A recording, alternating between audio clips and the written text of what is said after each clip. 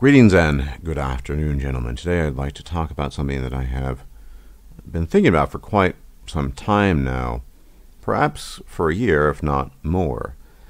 And many people would refer to what I'm talking about as some form of uh, propertarianism. That, that's actually not what I'm talking about.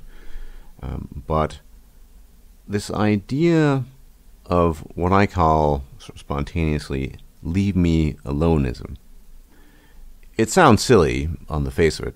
It's not a very serious description of something. But one thing I observed on the internet, and also to a lesser degree in real life and occasionally interacting with people IRL, is that increasingly there is a faction of people and individuals who have very little interest in participating in quote unquote party politics, which is to say, uh, they themselves would not describe uh, their mentality or their views as right or left, but they simply want to be left alone to their own devices and get on with their lives. I've noticed this, of course, primarily on people who would likely be affiliated with the right, but I've also noticed this on occasion with people on the left. And therefore, I don't really think that this idea of wanting to be left alone, or leave me aloneism, as I am calling it here, is particular to the right or left, although you would probably find more exponents of it and more people interested in it on quote unquote the right. And this links up to another concept I want to talk about uh, in this video more extensively, which is the uh, quality of identity.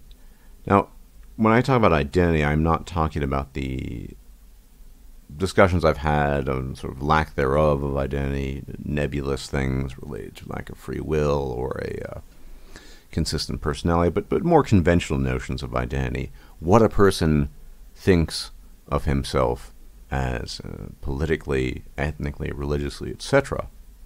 And here's the thing. Uh, we live in an age where quote unquote identity is very, very important, and there are so many of these identities. But one thing I want to point out related to leave me aloneism is that what I find most interesting is that the people who want to be left alone are almost always lumped in with the far right.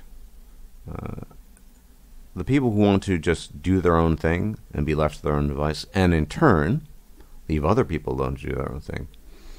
They are lumped in by the left uh, with the far right. And this is a really salient point, I think, because in the end, how you identify, what you identify yourself as, what you consider yourself to be, in an abstract sense at least, is immaterial to the way people will perceive you and what they will call you, and, given sufficient power, authority, uh, and numbers, how other people will designate you and, and, consequently punish you. Now, this should be pretty obvious uh, in terms of politics. I've already mentioned this. Any view that these days that does not represent the standard left-wing approach to things, uh, the the view of YouTube, the view of Google, the view of people who are caterwauling about various things, uh, such as race or gender, that is, even if you're a centrist, even if you're left of center, that is your, your right wing, basically. You're lumped in there. But let's say you're you're basically a centrist with uh, with some tendencies to the right. Well, then you're far right. You're alt right. So the point I'm trying to make here is that people aren't really, even though the devil's in the details 90% of the time, people aren't very interested in looking at the devil being in the details. They're interested in creating broad, sweeping categories that they can lump people into. And in the, we could say, political proxy wars that are waged and fought on the internet, that is uh, absolutely the case. I would never, everyone who listens to me to any given period of time gets this feeling that I'm some kind of centrist. And I would reluctantly say that that's probably true. I would never say I'm right, and I would never say I'm left. I'm just kind of on my own wavelength, although whatever person might want to pigeon me as, they're going to do that, right? But with that said, uh, everyone I encounter who is who is not already on the right or far right or whatever, uh, that is left, mainstream left, they would characterize me as far right or alt right. I hear this all the time. I have no idea why people call me alt right. Um, but anyway, this is what they've done. You can see this. Everyone who has a certain view of the world that is somewhat deviant, even if it's a tiny, tiny, tiny fraction of a deviation from what uh, the mainstream left wing thinkers think, then they are alt right there. I mean, look at Ben Shapiro, a extremely Zionistic Jew who thinks Israel is more important than the United States. He's called alt right. He's called a Nazi. Now, of course, this is all very simplistic, and we know these people aren't really uh, go into the details. But there's also historical precedents for groups of people who may have may not for groups of people who may or may not have identified as X being classified as such. In the mid 20th century, uh, there were many people accused of being communist. Uh, I mean, McCarthy, uh, McCarthyism, basically. Some of these people actually might have been communists, and it's a whole other discussion whether or not they deserve to be persecuted or at least should have been uh, admonished or whatever. I'm not interested in that discussion. But needless to say, there were people who had no communist affiliations, who through other means uh, might have been uh, connected to it, or even not even connected. Maybe they came from a certain ethnic background, or they were just perceived as such. It didn't matter because you had an authoritative majority, anti-communist majority, looking for communists and they found some.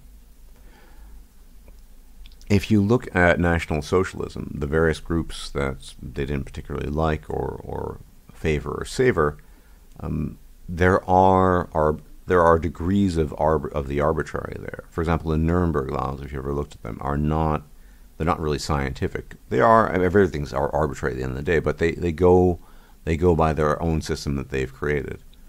So whether or not the individual in question uh, was or was not part of Jewry, if they, that person did not coincide with the Nuremberg laws, that person would have been appropriately punished. That's one example. Uh, and you know we can theoretic- theorize that, for example, when uh, the the Turks uh, did not very much like the Armenians in quote unquote Turkish territory, that it didn't matter if the Armenians in question actually were Armenian or not. All that mattered was that the Turks associated them with uh, with being such, and that they were given that designation. Now, this obviously can be quite dangerous uh, in in the long term. Uh, there are plenty. I mean, there are just spades of historical examples where this sort of it doesn't matter how or what you think you are. It matters more what other people think you are uh, relevant and becomes uh, a matter of uh, actual real life danger. On the internet, it's less so, but um, it's not impossible that we could uh, drift towards that sort of thing. It's not impossible that uh, people become so demonized merely because of their beliefs these days. And I think, I think largely we're over the whole racism thing. Well, not entirely, uh, whatever, but not. I mean, we people need a boogeyman. They need a bugbear, right? The bugbear these days uh, in, to, to reinvoke uh, racism.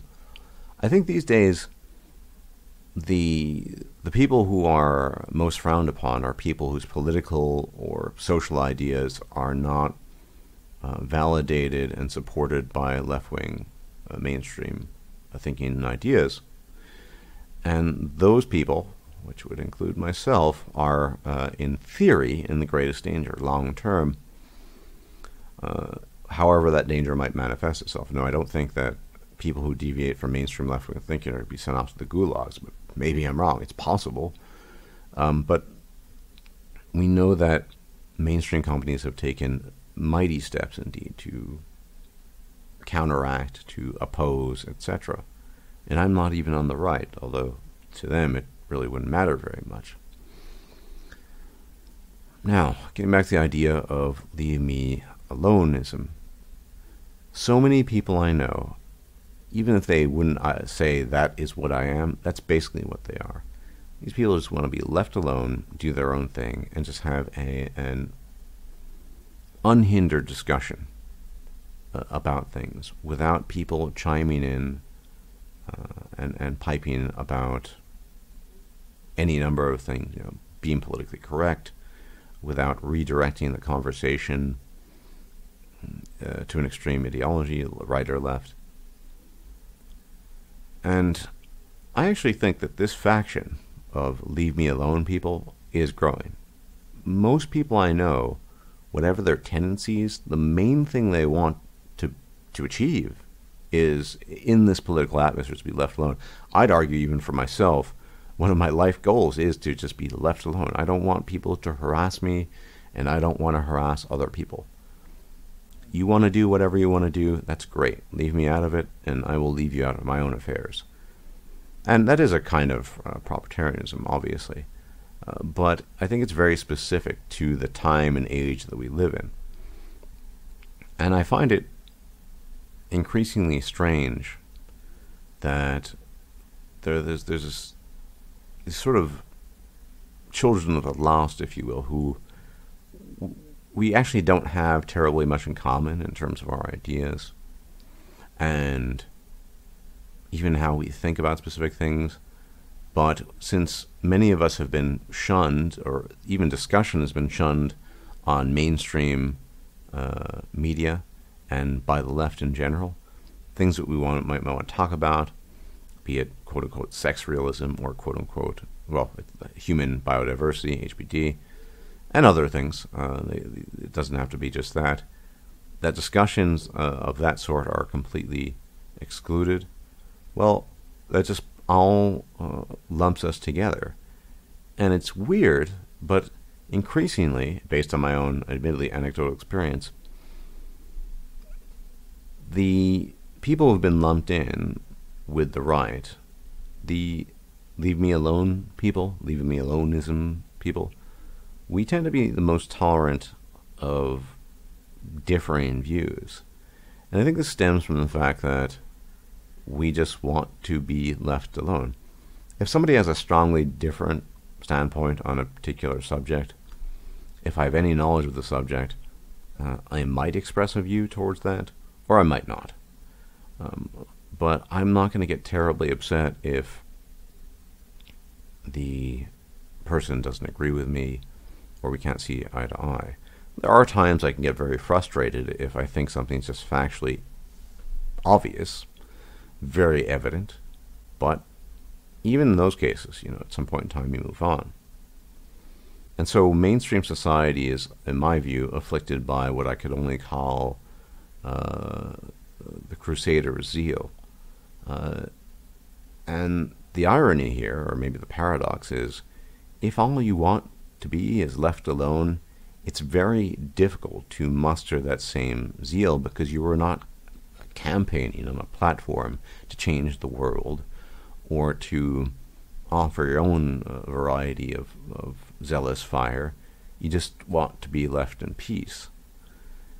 And if I had any mainstream concern or general concern concerning public uh, affairs or YouTube or society in large, it would be that we've reached the point where we can no longer just be left alone to do what we want to do and to think what we want to think and to express our views. I don't think we can really change the world, and when we do, it usually ends in disaster. check out the uh, early to mid 20th century for that one. But one open question I have to myself and to the audience is what one can do if that is your default position.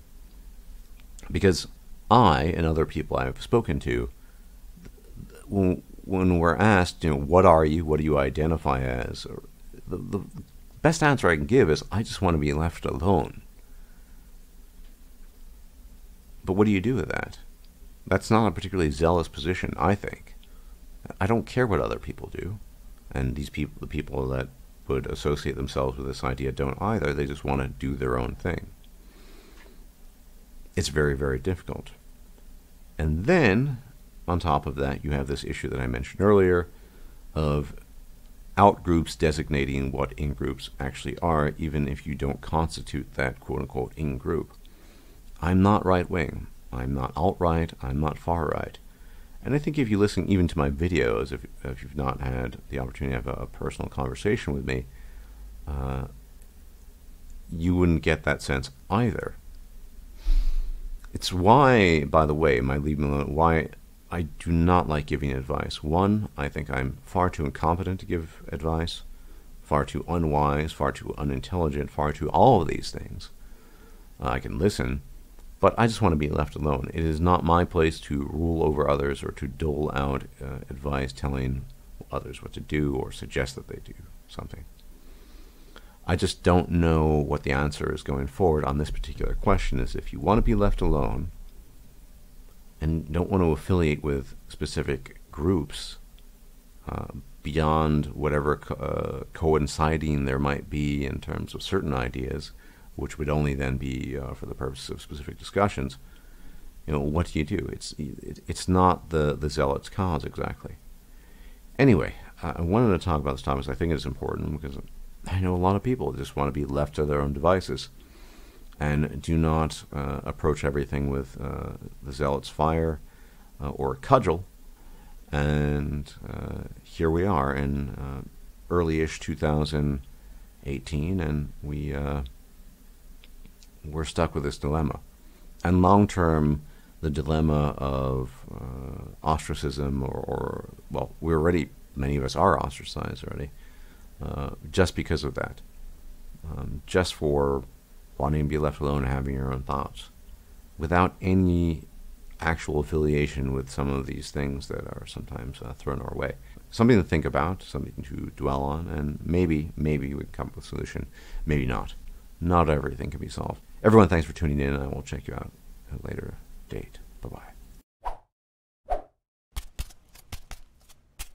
If you liked this video, please like, share, and subscribe. And if you enjoy my content, please consider making a donation or becoming a patron. Thanks for watching.